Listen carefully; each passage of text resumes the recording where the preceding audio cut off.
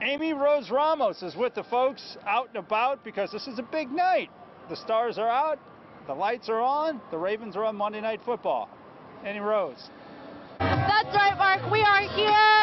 Check it out. The party is here. The Ravens flock is here. They have been arriving every single hour in the past few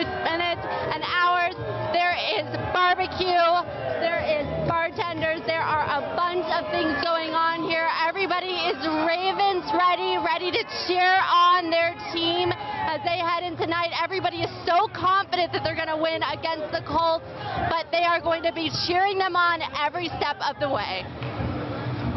It's Ravens. It's Monday Night Football. You know, we're ready to go. For Tailgate Mike, today is about tradition. We've been tailgating in this slot for at least 15 years. On Monday, him and his son were some of the first to come out and show their support for their team. They bring us good energy on Sundays, Mondays, and we try to do it back for them. At their spot right on the corner of Hamburg and Russell. When they drive by, we want to make sure they see that we're here and uh, ready to go. And in Federal Hill, preparations are underway at Mother's Purple Patio. Move our tent over, move the picnic tables out of the way, set up a stage, get a DJ set up, create two bars that you normally aren't there, set up a grill.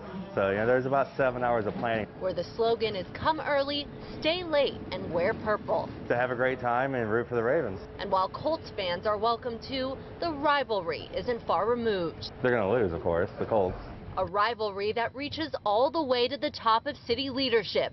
In a tweet Sunday, Mayor Brandon Scott challenged the Indianapolis mayor to wear a Ravens jersey if Baltimore wins, writing, can't wait to see him in a Ravens jersey, vowing to do the same if the Colts win, but confident he won't have to. But outside M&T Bank Stadium, Mike and his son, proudly in their purple, already toasting to a victory. We could be sitting at home on our couch, or we could be here. So we'd rather be here.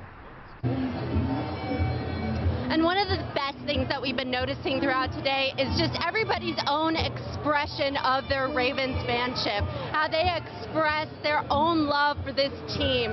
And as the parking lot continues to fill up, everybody just sort of driving in, partying, and getting ready for this game, this 8:15 kickoff. They are so excited for what's to come and for that sure to be victory.